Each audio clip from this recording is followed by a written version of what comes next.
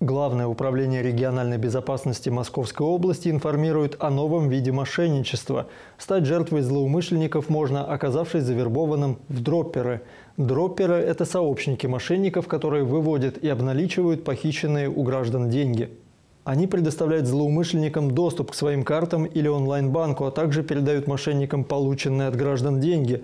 Будущих дропперов находят в социальных сетях через мессенджеры или электронную почту. Так как дропперы являются сообщниками преступников, им может грозить уголовное преследование. Также их внесут в базу данных Банка России и ограничат доступ к онлайн-банкам и картам.